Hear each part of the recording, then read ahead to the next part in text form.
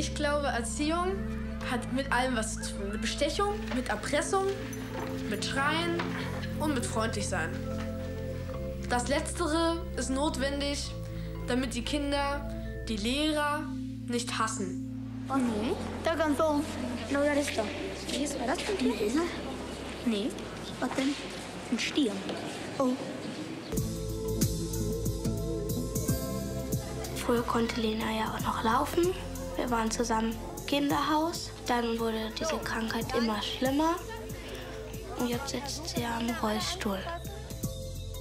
Es gibt Haupt- und Nebensätze.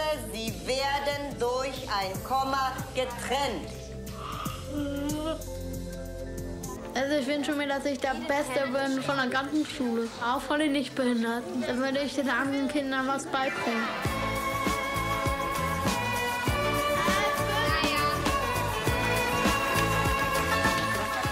Du ein kleines Problem in der Klasse?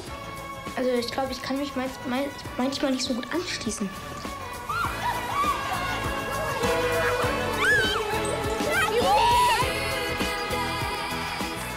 Tut immer, tut immer gut, wenn man weint.